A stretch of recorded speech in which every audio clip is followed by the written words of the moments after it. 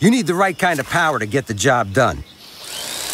That's why the new 2018 F-150 is available with best-in-class towing and payload. The Ford F-150. It doesn't just raise the bar, it is the bar.